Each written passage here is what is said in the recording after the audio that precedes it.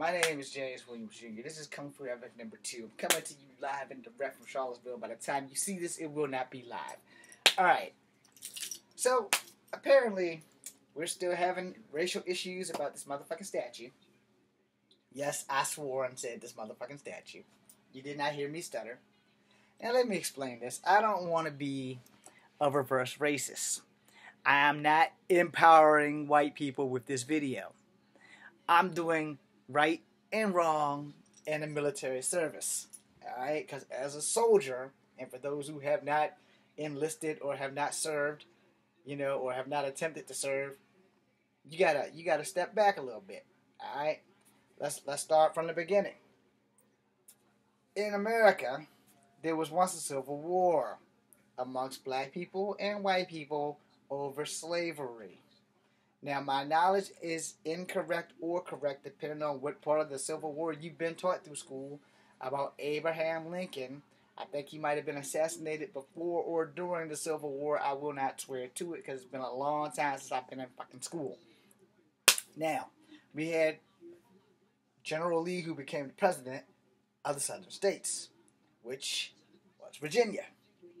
Now, he was a war hero to the Southern States. I don't support what he did. Alright? As I am a person of color, as you can see. I am Cherokee Indian, I am black, and I am white. Alright? Now we got that my ethnicity out of the fucking way.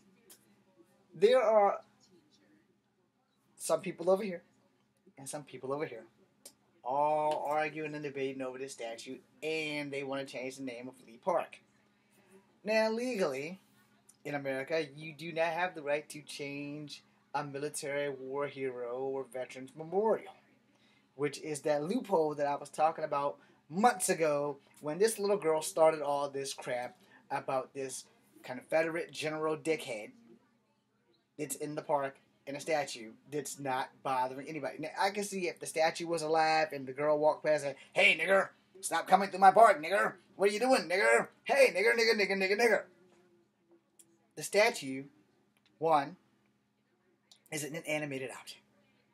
Two, it is not in a position where it can fall and hurt someone. And three, it can't fucking talk. This is not one night at the museum where the statues of uh, Theodore Roosevelt and them all pop out and start running around with Pocahontas and them and causing all kinds of problems with dinosaurs, making one big ass clusterfuck with Genghis Khan, and then popping back up on their stands the next day. This is real life.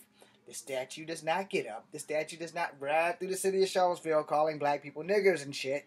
And honestly, it's not fucking hurting anyone.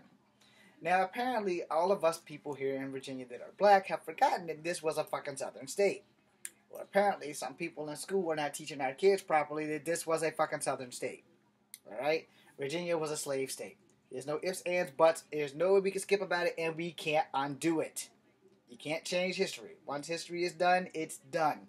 Now you might go to an alternate timeline and might be able to fuck some shit up, and that would be cool. You might not. You might even be able to go to an alternate universe where you can fuck shit up, and that would be cool. However, here in reality, you can't do that. And acceptance is a part of life, as compared to a woman having her cycling time, as compared to racism never going anywhere. And you know why racism won't go anywhere? Because we can't get over dumb shit that we can't change. And then we have people who are straight up racist, who don't want to change, who don't want to see people as people and see them for the content of their character, and not the color of their skin, as Dr. Martin Luther King Jr. died for trying to get that dream alive. Now, let me ask you people who want the trash, the statue to be gone. Doesn't it make you more racist to be against a statue of a dead white man? I mean, if you think about it, yeah, he hated black people. Yeah, he put us in whips and chains. But if you're going to support Dr. Martin Luther King's dream or his vision, if you're going to support what Malcolm X and them stood for and died for, then we didn't make you more of a racist to stand up to move a statue that hasn't done anything to you. Aren't you being just as racist as the white oppressors that the guy is honoring? I mean, you gotta think this thing through. Are you not being just as racist if you're not being more racist? And to the white people that are on your side, I understand you support them, but do y'all not understand that the man was a president and a general? Do you understand that that statue isn't really physically capable of hurting anyone unless it falls off the pedestal? Or are all of you guys so enamored of things that don't matter instead of dealing with the shit that do matter? Like paying teachers more money, getting more cops, getting more body cams so that innocent people aren't killed by cops or so that cops aren't killed by people who just are glum fucking crazy. Things that really count, like our lives. The life of a statue in a park. Hey, I'm pissed off about this damn Sacagawea statue. I'm part Native American and she's standing, excuse me, she's kneeling in front of two white men. Like she doesn't even fucking matter. But you don't hear me running up to the top of the damn statue and complaining about it. That statue was there before I was born. That statue in Lee Park was there before that girl was born. It started this big ass clusterfuck of problems here. You guys need to get over that shit. Both sides. It's a fucking statue. It is a piece of ceramic that can't do nothing to nobody. It can't speak for itself. I'm sure it's tired of looking into the Virginia Historical Museum because that's the way it's facing. I'm pretty sure that it's tired of looking at those windows day after day after motherfucking day. I'm sure it's tired of sitting on this horse. His ass has got to have some kind of saddle soreness now since he's been up there for like 70 fucking years. And you guys are complaining? If anybody should be complaining, it should be the damn statue. He can't move. He can't get off the horse and stretch his fucking legs. He's just sitting there. You know, he's got to have. Have you ever rode a horse? Have you ever heard someone who rode a horse and talk about saddle sore? Have you ever rode a moped for a long period of time and get saddle sore where you get those bruises between your crotch and your groin area? Yeah. How do you think that fucking statue feels? If anything, he probably wants to get the fuck off the horse. No. But he didn't get designed by his own accord. Whoever designed him stuck him up on that horse and stuck that horse right smack dead there in the middle of Lee Park. Or in a specific area of Lee Park. Now, why is Charlottesville going crazy about the statue? It's a statue. Y'all couldn't find nothing better to do, like help homeless vets get homes, like feed homeless people, like find a way to make all of us find a life worth living in this beautiful ass town. Try to find a way to stop racism. Try to find a way to combat gangs. Try to find a way to make the cops more honest. Try to find a way to stop racial profiling. Try to find a way to stop taking our driver's license for things that are not driver related equivalent crimes. But no.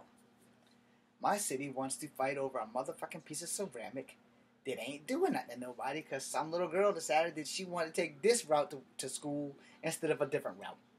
Let me tell you something. I'm not a people pleaser. I try to be a people pleaser, but the first person that you need to please is yourself. And if pleasing yourself decides to cause a motherfucking clusterfuck of pissing off everybody, then you have fucked up. Simple as that. There's always another way around things. If you don't have a safer route, then you accept the route you take and just go to the park. Or you do what I did as a child. You learn how to fight, and you learn how to fight very well. Sometimes you might have to be a little dirty in your fight, but Nobody's going to bother you. If you beat enough people up, people will tend to leave you the hell alone. The statue can't defend itself. The statue can't talk for itself. The people who support the statue staying in the park have spoken. The people who don't want the statue in the park have spoken. But have y'all ever thought about the dynamics of what damage you're doing? I'll make a second part to this. Thank you.